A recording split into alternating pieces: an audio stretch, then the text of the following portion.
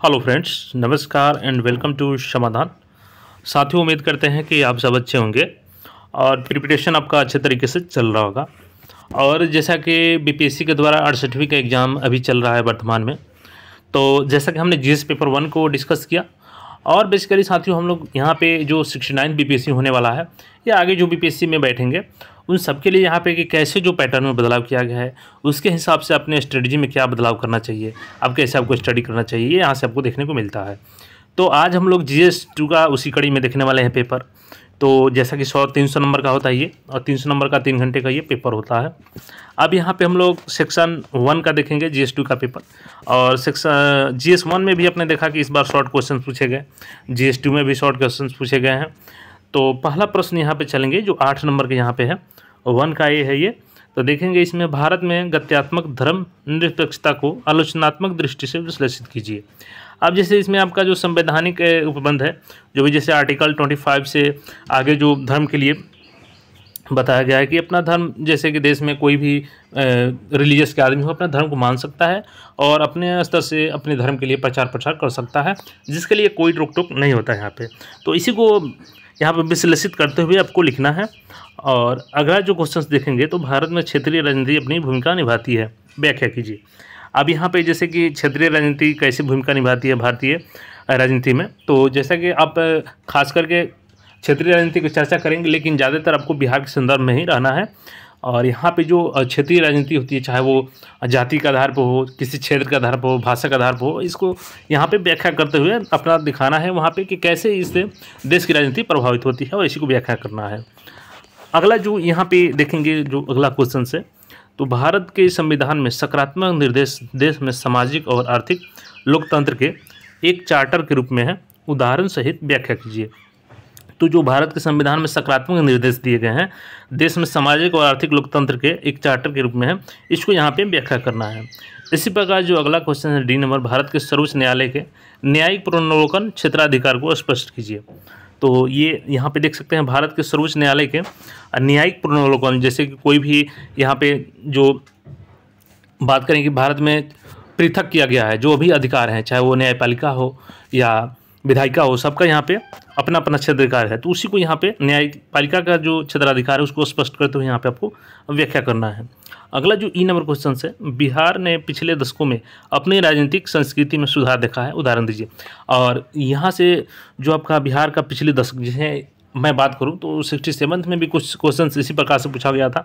तो यहाँ से आपको एक डायरेक्शंस मिल रहा है कि आने वाले एग्ज़ाम में भी आपको जो कुछ दशक हैं, पाँच छः दशक है बिहार के राजनीति के संदर्भ में, उसका चाहे वो सामाजिक विकास हो, आर्थिक विकास हो और सोशल रिफॉर्म्स हुआ हो तो इसके बारे में आपको थोड़ा डिटेल्स में देखना चाहिए। आगे आपको क्वेश्चन इसी प्रकार से मिलने वाला है।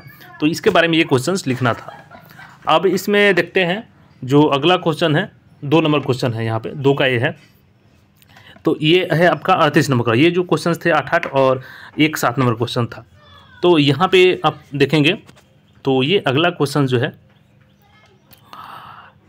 क्षेत्रीय परिषदों के अंतर्गत देश में राष्ट्रीय हित की सर्वोपरिता प्रतिष्ठित है। भारत में क्षेत्रीय परिषदों की प्रकृति एवं कार्यशैली का उपयोग करने के परिप्रेक्ष्य में आलोचनात्मक दृष्टि से परीक्षण कीजिए। और जो इसमें दूसरा क्वेश्चन है, यानी दो में से कोई एक लिखना है आपको तो जो क्षेत्रीय परिषद है, उसके बारे में आपको विस्तार से यहाँ पर लिखना है, क्योंकि अड़तीस नंबर का ये है। और या वो नहीं लिखेंगे तो यहाँ पे जो दूसरा क्वेश्चन है जाति भारतीय राजनीति में एक भूमिका निभाती है। दशकों में इसके कामकाज में बदलाव आया है।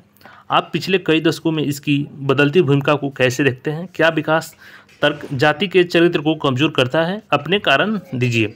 तो यहाँ पे देखेंगे कि जैसे जाति भारतीय राजनीति में कैसी भूमिका निभाती है, ये भली भांति आप एग्जाम्पल्स दे सकते हैं। हर राज्य में आपको देखने को मिलेगी, चाहे वो जाति के आधार पे हो या भाषा के आधार पर हो। तो बेसिकली यहाँ पे आपको राजनीति, जाति के आधार पे दिखाना है। हालाँकि आपको यहाँ पे सरकार के अगेंस्ट में नहीं जाना है, आपको चूँकि आंसर में अगर सरकार के अगेंस्ट जाते हैं तो वो एक नकारात्मक प्रभाव आप छोड़कर जाएँगे, जो आपको नंबर यहाँ पे नहीं दिला पाएगा। तो इसलिए सरकार के पॉजिटिविटी को दिखाते हुए ही आपको राजनीति में कैसे जाती है, भूमिका आती है, इसको दिखाना है। और जो विकास है विकास का एजेंडा कैसे आप दिखाएँगे, जैसे कि एजुकेशन बढ़ रहा है तो जाति का प्रभाव धीरे धीरे कम हो रहा है, ये सब यहाँ पर दिखाना है आपको। तो ये भी लिख सकते हैं क्वेश्चन और जो तीन का ये है सेक्शन वन का ही यहाँ पे देखेंगे। तो ये है भारत के चुनाव आयोग ने चुनाव कराने में महत्वपूर्ण भूमिका निभाई है। दशकों से चुनाव को स्वतंत्र और निष्पक्ष बनाने में इसका भूमिका का आलोचनात्मक परीक्षण कीजिए। बिहार में सेशन पूर्व और सेशन युग के बाद चुनाव के संचालन के संदर्भ में अपने उत्तर के कारण दीजिए। यह लोकतंत्र को मज़बूत करने में कैसा योगदान देता है?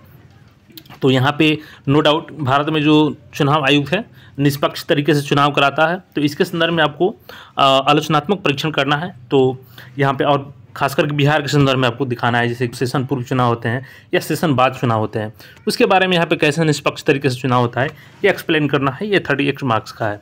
अगर वो नहीं लिखना चाहते हैं तो जो दूसरा क्वेश्चन है इसमें, ये लिख सकते हैं आप, जैसे राज्यसभा की संरचना एवं शक्तियों का विवेचन कीजिए, तथा संसद के द्वितीय सदन के रूप में इसकी भूमिका को लिख कीजिए।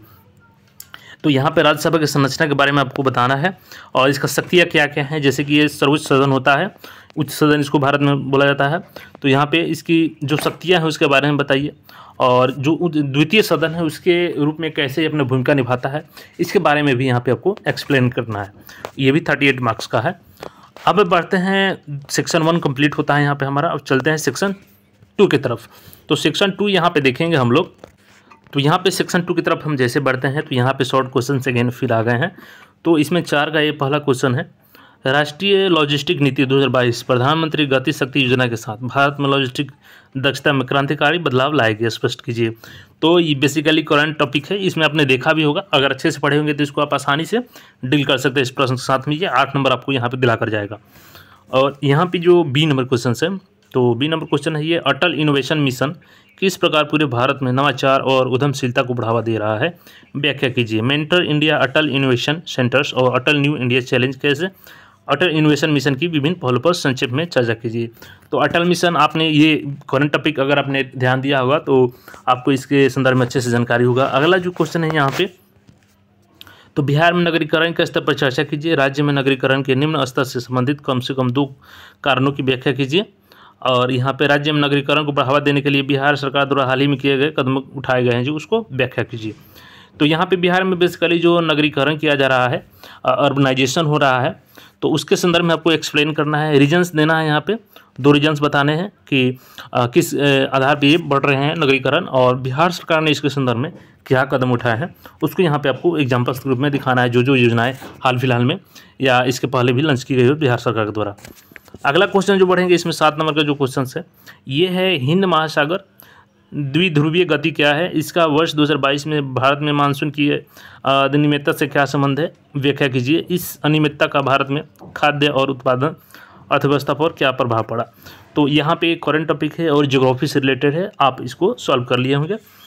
यहाँ पे जो अगला क्वेश्चन है तो ये है आपका भारत में ग्रामीण शहरी डिजिटल विभाजन की व्यापकता और प्रभाव पर चर्चा कीजिए। इसमें कम करने के लिए सरकार द्वारा उठाए कदमों का परीक्षण कीजिए।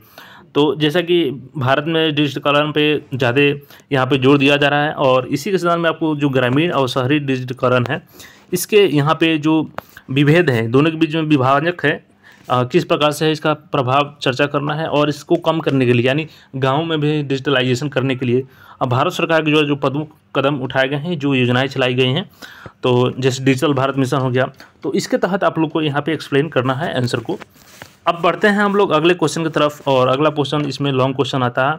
तो पाँच का ए है, इसमें दो क्वेश्चन है ए और बी दोनों में से कोई एक लिखना है। तो यहाँ पे है 2022 में भारत के वैश्विक व्यापार संबंधों की जाँच कीजिए। व्यापार बढ़ाने के लिए भारत द्वारा की गई विभिन्न पहले क्या है?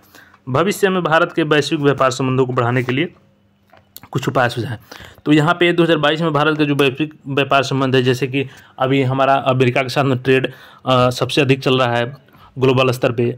और वहाँ पे ट्रेड डेफिसिट किसके साथ है? ये सारा चीज़ दिखाना है यहाँ पे। उसके अलावा जो भारत में कितना मुनाफे की व्यापार रहती है और आगे जो भारत में व्यापार के संबंध है, उसको बढ़ाने के लिए कोई सुझाव हो तो आप यहाँ पे उसको एक्सप्लेन करना है अपने स्तर से।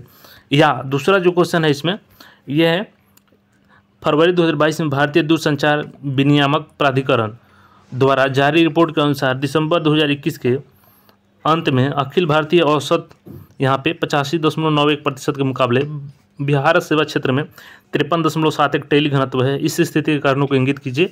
इसका क्या प्रभाव है? स्थिति में सुधार के लिए उठाए जा सकने वाले कदमों की जाँच कीजिए। तो ये आप करंट टॉपिक है ये भी। इसको आप लोग देख लिए होंगे। अगला जो इसमें छः नंबर क्वेश्चन है, इसमें दो क्वेश्चन है, दोनों में से कोई एक करना है लॉन्ग क्वेश्चन है। नीली अर्थव्यवस्था की पहचान राष्ट्रीय विकास के दस मुख्य आयामों में से एक के रूप में की जाती है।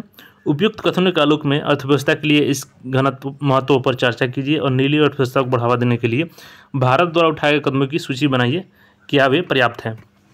तो नीली क्रांति यहाँ पे बेसिकली जो मत्स्य पालन है तो कैसे यहाँ पे इसके बारे में राष्ट्रीय विकास के दस मुख्य आयामों से एक है, जैसे कि आपका इकोनॉमिकल डेवलपमेंट के लिए ज़रूरी है और इसके जो द्वारा सरकार द्वारा कदम जो उठाए गए हैं, वो क्या पर्याप्त हैं? अगर आप सुझाव देना चाहते हैं, उसमें सुझाव भी दे सकते हैं।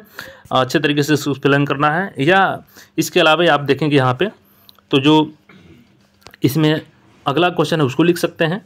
इसी का अथवा में कच्चे माल के आधार पर बिहार को वन आधारित उद्योगों, कृषि आधारित उद्योगों और खनिज आधारित उद्योगों में विभाजित कीजिए। उन उद्योगों की अवस्थिति को दर्शाने वाले स्वच्छ रेखा चित्रों द्वारा अपने उत्तर को स्पष्ट कीजिए। तो बेसिकली यहाँ पे आपका जो कच्चे माल के आधार पर बिहार में जो भी वन आधारित उद्योग हो या कच्चा माल आधारित हो, कृषि आधारित उद्योग हैं या खनिज आधारित उद्योग हैं, उनको अलग अलग विभाजित करना है और उनकी अभी उद्योगों की अवस्थिति क्या है बिहार में, उसके बारे में यहाँ पे रेखांकित करना है। तो अब चलते हैं हम लोग सेक्शन थर्ड की तरफ़ और सेक्शन थर्ड में देखेंगे तो यहाँ पे फिर से शॉर्ट क्वेश्चन है। क्वेश्चन नंबर सेवन में यहाँ पे जैसे कि पहला क्वेश्चन है, भारतीय परिप्रेक्ष्य में तकनीकी प्रौद्योगिकी का स्वदेशीकरण से आप क्या समझते हैं? तो बेसिकली यहाँ पे भारत में जो अब टेक्नोलॉजी के क्षेत्र में भारत भी आगे बढ़ रहा है और काफ़ी भारत सरकार के द्वारा जैसे कि मेक इन इंडिया के संदर्भ में आप लोग बता सकते हैं। इसके अलावा जैसे हाल फ़िलहाल में नाविक इंडिया का अपना जो इन्वेशन नेविगेशन ऐप है, उसको लॉन्च किया गया था। और भी जैसे सेटेलाइट्स के क्षेत्र में आप वाणिज्य क्षेत्र में इंडिया कदम रख रहा है और पूरे वर्ल्ड का जो यहाँ पे है अलग अलग देशों से यहाँ पे लॉन्चिंग किया जा रहा है और टेक्नोलॉजी में आगे भारत अपना आत्मनिर्भर बन रहा है। इसको बारे में यहाँ पे अच्छे तरीके से आपको एक्सप्लेन कर देना है। जो अगला क्वेश्चन है व्याख्या कीजिए कि बढ़ती ऊर्जा आवश्यकताओं को पूरा करने के लिए भारत के लिए अपने परमाणु ऊर्जा कार्यक्रम का विस्तार क्यों आवश्यक है? परमाणु कार्यक्रम में आवश्यक सावधानियाँ भी लिखिए।